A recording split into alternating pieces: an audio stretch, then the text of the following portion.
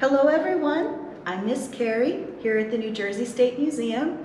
Welcome to Small Explorers.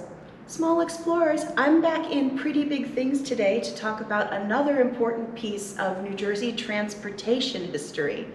Today, we're gonna talk about trains. Small Explorers, today I have two sign language signs for you. Our first sign is for train. You're going to hold up two fingers on each hand, make little bunny ears, and then you're going to rub one set of bunny ears over the other, and this is the sign for train.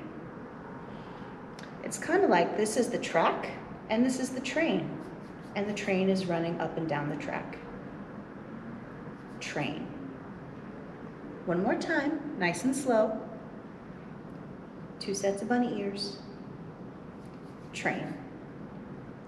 Our second sign is the sign for railroad.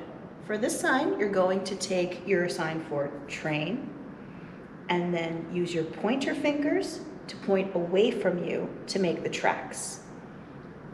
Railroad. Railroad. One more time, nice and slow railroad. Good job.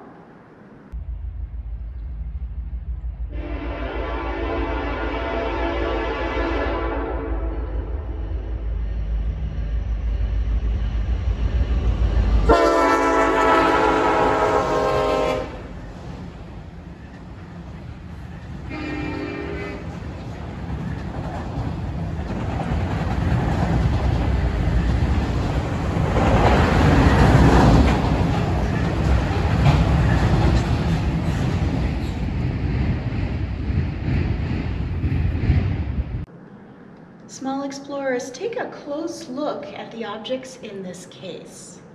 What do you think they are? And what might they be used for around a train or a railroad? Can you take a guess? These are actually cross sections of different types of railroad tracks. So if you're going to imagine a railroad track, that long piece of metal that the train wheels run on, if you were to cut a little piece out of that and turn it sideways, this is what you would get. These are called T-rails. And these are T-rails from different types and sizes of track for different types and sizes of trains to run on. These were invented in 1830 by a man named Robert Stevens and they became the type of track that were used for railroads all over the world.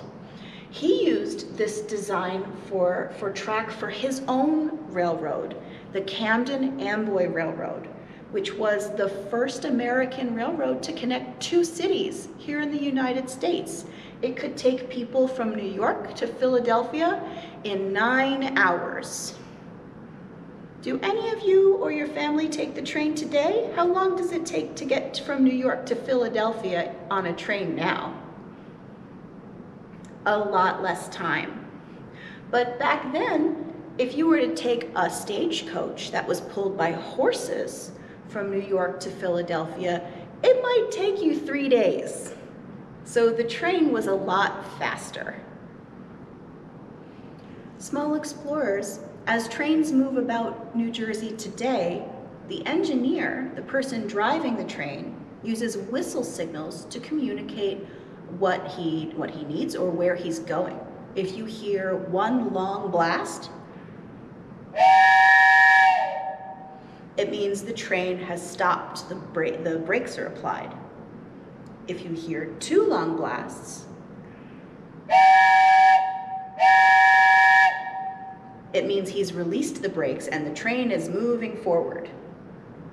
If the train is stopped and you hear three short blasts,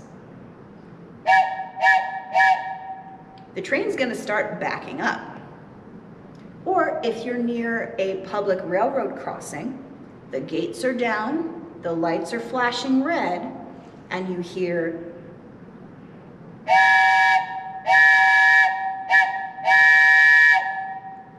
means the train is approaching the crossing and everybody needs to stay off the tracks.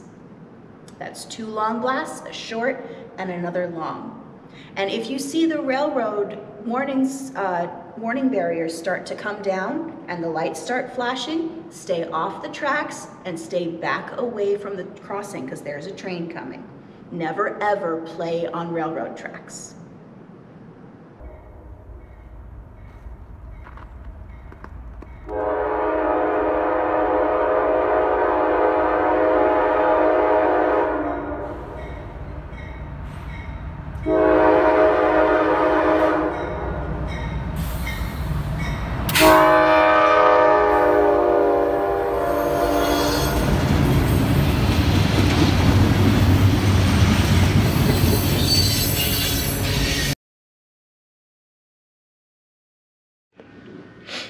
Okay, explorers. So for today, I have a game for our toddlers to play with their siblings and caregivers. For this game, all you need is a long, long piece of ribbon or a big piece of yarn and your floor. You're going to unroll your ribbon or your piece of yarn all along the floor and make your own track. So I only have one big piece of ribbon, so I made one track. I'm going to be a monorail today. A monorail runs on one track. So one person in the house is going to unroll the ribbon around the house and make the railroad. And then our toddlers and our siblings, if they are in, you know, if you have siblings, are going to put your engineer hat on and you're going to follow the track and pretend you're a train. This is even better if you have a train whistle, but if you don't, you can pretend. Woo woo!